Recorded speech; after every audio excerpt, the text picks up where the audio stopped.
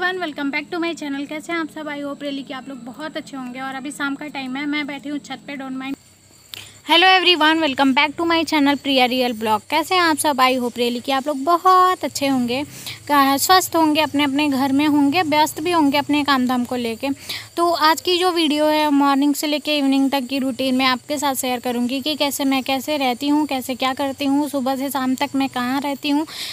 क्या क्या करती हूँ? तो सबसे पहले शुरुआत होती है मेरी फूल तोड़ने से। मैं जब सुबह उठती हूँ तो उठने के बाद मैं तुरंत मुँह धुल के फूल तोड़ने जाती हूँ, क्योंकि गाँव में है घर मेरा तो लोग फूल तोड़ ले जाते हैं। तो सबसे पहले मेरा फूल तोड़ना होता है। अभी साढ़े पाँच हो रहे हैं, मैं उठ गई थी आज।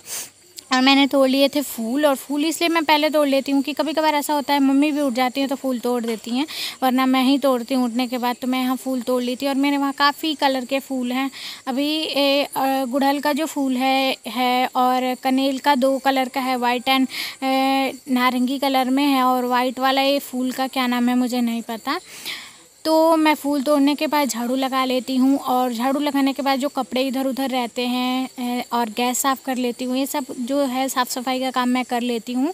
एंड पोछा लगाने के बाद मैं रखती हूँ चाय और मम्मी मेरी रोज़ बर्तन धुलती हैं सुबह में, चूँकि मम्मी बैठ के बर्तन धुलना होता है तो मम्मी बर्तन धुल देती हैं। उठने के बाद फ्रेश होकर मम्मी बर्तन ही धुल देती हैं, ब्रश करके फिर निकलती हैं, तब तक मैं चाय बना लेती हूँ। तो मैं मेरे वहाँ सुबह में काढ़ा बनता है एंड काढ़े के बाद सॉरी, काढ़े के बाद हम लोग पीते हैं रेड टी। तो मैं कभी कभार ही लाल चाय पीती हूँ, वरना मैं चाय नहीं पीती हूँ, मैं चाय की शौकीन नहीं हूँ। तो लाल चाय तो पी ही लेती हूँ और काढ़ा पी लेती हूँ कभी कभार और इसके बाद एक तरफ़ अगर मेरे वहाँ अगर चाय बनता है तो दूसरे तरफ़ दूसरे तरफ़ मैं पानी गर्म कर देती हूँ, पापा, मम्मी और अपने लिए गर्म पानी हम लोग सुबह सुबह पीते हैं, ब्रश करने के बाद। तो यहाँ मम्मी तो पहले ही पी लेती हैं एक गिलास, लेकिन हम ब्रश करने से पहले नहीं पी पाते हैं। तो मैं ब्रश करके एक तरफ़ पानी चढ़ा देती हूँ और काढ़ा बना लेती हूँ, उसके बाद चाय बना लूँगी। तो पानी सब लोग पी लेते हैं, काढ़ा पी लेते हैं। उस, उसके बाद चाय को गर्म करना पड़ता है दोबारा पीने के लिए। तो चाय गर्म करके मैं बाद में दे देती हूँ। पी लेते हैं सब लोग। उसके बाद जो घर का काम होता है, वो सब मैं पहले फिनिश करती हूँ ताकि नहाने के बाद मुझे कोई और काम ना करना हो, सिर्फ़ खाना बनाने के अलावा, लंच बनाने के अलावा। तो मैं यहाँ पे आया था, मेरे वहाँ चावल का आटा जिसको मैं डब्बे में रख रही थी, ऐसे झोले में पड़ा हुआ था।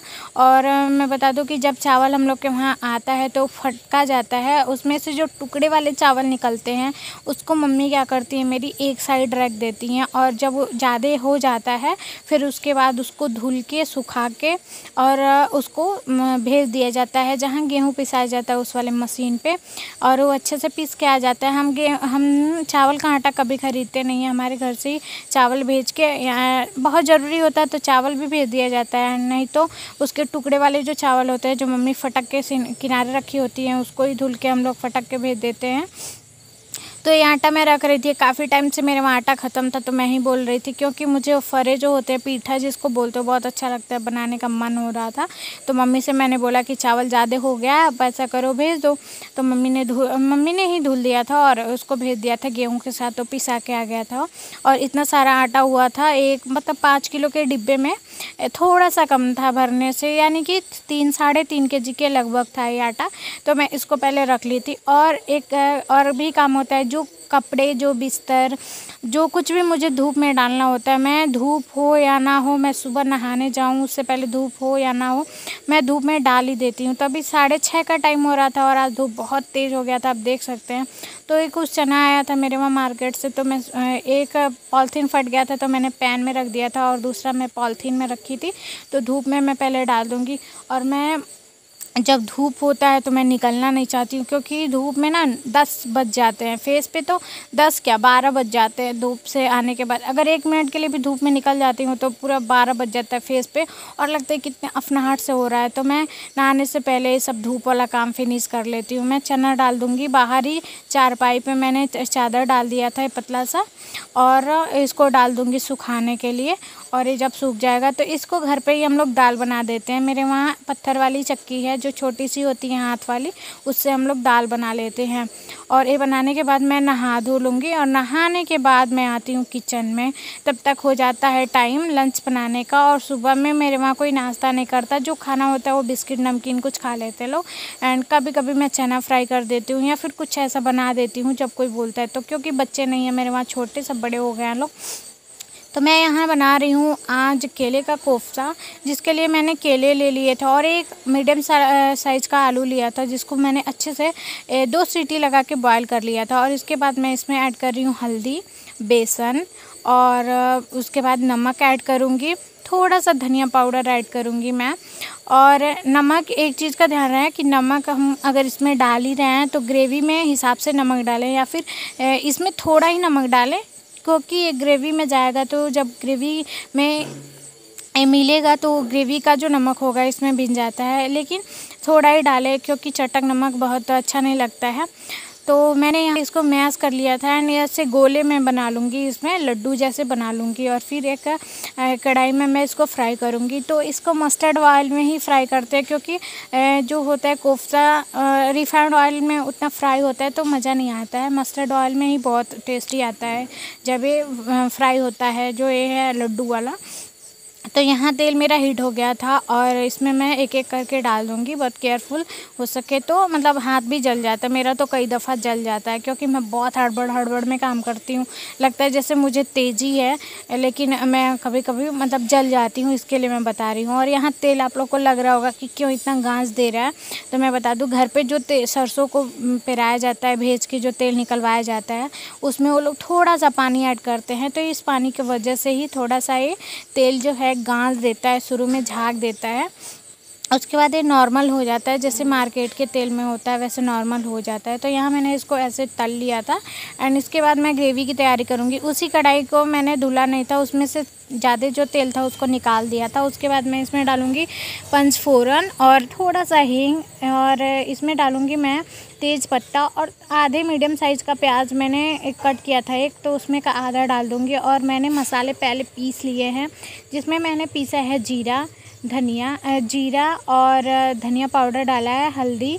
और उसमें डाला है दो बड़े साइज़ के प्याज और पाँच से सात लहसुन की कलियाँ, एक इंच अदरक का टुकड़ा, जो मसाला मैंने तैयार कर लिया है मिक्सी में। मुझे सिलबट्टे पे पीसने का मन नहीं हो रहा था सुबह सुबह मतलब नहाने के बाद मन ने किया मसाला पीसने का तो मैंने मिक्सी में ही पीस लिया। अक्सर मैं सिलबट्टे पे ही मसाला पीस लेती हूँ। तो यहाँ मसाला हमारा तैयार हो गया था। और पता है, आज मिर्ची थोड़ा सा तीखा हो गया था सब्ज़ी, आप लोग मिर्ची देखे ही होंगे मसा इसमें मसाले में। तो मिर्ची थोड़ा सा ज़्यादा हो गया था, लेकिन बहुत अच्छा लग रहा था। और पापा मेरे नहीं थे, पापा दादी के वहाँ थे तो पापा रहते तो थोड़ा मिर्ची बचा के डालते, क्योंकि पापा मेरे तीखा नहीं खाते और मैं और मम्मी मेरी तीखा खाते हैं लोग। तो यहाँ मैं मसाला अच्छे से फ्राई कर लूँगी। और इसमें थोड़ा ही नमक डालूँगी क्योंकि मैं उसमें भी जो टिक्की हमने बनाया डालने के लिए कोफ्ता, उसमें भी नमक डाला हुआ है। तो थोड़ा सा नमक मैं डालूँगी आधा टेबल स्पून और इसको अच्छे से भून लूँगी ढक के। हमको लग रहा है कि तीन से चार मिनट इसको मीडियम टू लो फ्लेम पे इसको भून लेना है और भुनने के बाद हम इसमें से जब देखेंगे कि तेल छोड़ने लगा हमारा मसाला, तब इसमें थोड़ा सा पानी ऐड करेंगे।